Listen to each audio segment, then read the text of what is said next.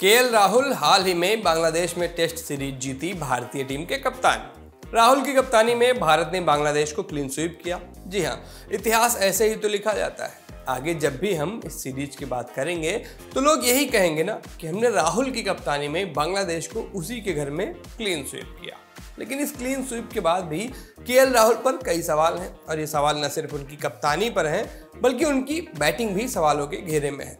खबरें तो यहाँ तक हैं। कि उन्हें श्रीलंका के खिलाफ अगले हफ़्ते शुरू हो रही टी इंटरनेशनल सीरीज़ से ड्रॉप कर दिया जाएगा। और आज सिली पॉइंट में हम आंकड़ों के ज़रिए देखेंगे कि ऐसा क्यों हो रहा है।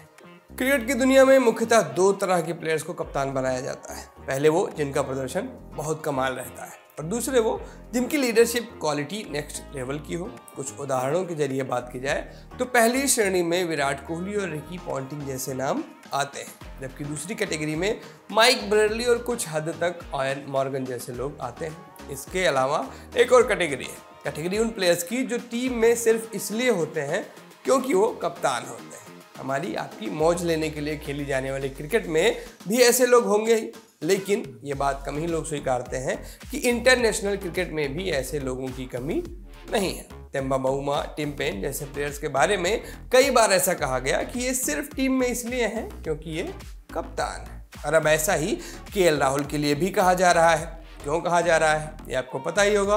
क्या हो सकता है कि ना भी पता हो। ज़रूरी थोड़े है कि सब कोई मेरी तरह क्रिकेट देखता है। हाँ तो जिनको नहीं पता, वो ये जान लें कि के राहुल ने पिछली 10 टेस्ट पारियों में सिर्फ़ दो बार 25 का आंकड़ा पार किया है। आखिरी बार वह 3 जनवरी 2022 को टेस्ट क्रिकेट में 25 के पार गए थे। ओवरऑल भी इन, उनके आंकड़े बहुत प्रभावशाली नहीं हैं।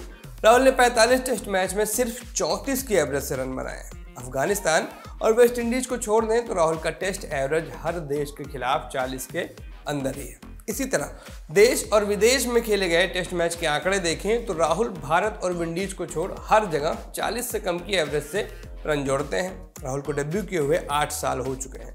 और इन आठ सालों में वह सिर्फ़ तीन बार टेस्ट में तीस या उससे ज़्यादा की एवरेज से रन जोड़ पाए। यानी टेस्ट में राहुल कभी भी बहुत रिलायबल नहीं रहे। राहुल के लिए पूरे सम्मान के साथ मैं ये कहना चाहूँगा कि ऐसे एवरेज वाले दुनिया में बहुत से प्लेयर्स हैं और इस एवरेज के साथ वह टीम में अंदर बाहर होते ही रहते हैं, जबकि राहुल के साथ उल्टा है। टीम से बाहर होना तो दूर, वह इस टीम को लीड कर रहे हैं। टेस्ट क्रिकेट में राहुल सीधे तौर पर अनफिट दिखते हैं। उनका एवरेज और अप्रोच दोनों ही किसी काम के नहीं है। राहुल लगातार फेल हो रहे हैं। अठहत्तर पारियों में उनके नाम सिर्फ़ बीस, पचास या उससे ऊपर के स्कोर है। वैसे तो ये उतने बुरे नहीं लगते। पता लगता है कि हर चौथी पारी में वह 50 या उससे ऊपर का स्कोर कर रहे हैं। लेकिन उनका एवरेज तो अलग ही कहानी कहता है। इतने मैच खेलने के बाद भी राहुल का एवरेज रविंद्र जडेजा और रवि शास्त्री जैसे बॉलिंग ऑलराउंडर से भी कम है। क्रिकेट के इस फॉर्मेट में तो राहुल अभी तक अपना टैलेंट नहीं ही दिखा पाए हैं। ठीक ठाक बॉलिंग और थोड़ी टफ पिच आते ही उनका एवरेज ज़मीन में धस जाता है और लीडरशिप क्वालिटी में भी वो बहुत कमाल नहीं कर रहा है। पंजाब किंग्स हो या फिर लखनऊ सुपर जायंट्स उनकी कप्तानी वाली टीम्स कुछ कमाल नहीं दिखा पाई हैं। लखनऊ ने ज़रूर डेब्यू में बेहतर प्रदर्शन किया, लेकिन उसका क्रेडिट गौतम गंभीर के खाते में गया। क्यों गया? क्योंकि गंभीर ने अपनी लीडरशिप और टेक्टिकल ब्रिलियंस ऑलरेडी साबित कर रखी है।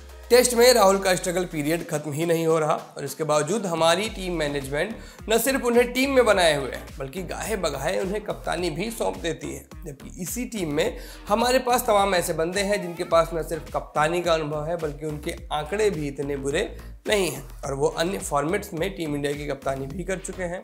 लेकिन ऐसे प्लेयर्स क्या ही कर लेंगे? हुई है वही जो राम रचि राखा, को करी तर्क बढ़ावे साखा। नमस्ते, मैं सूरज हूँ, आप लल्लन टॉप देख रहे थे। आपके लिए वीडियो शूट किया था हमारे साथी जतिन ने और ये प्रोग्राम था सिली पॉइंट। शुक्रिया।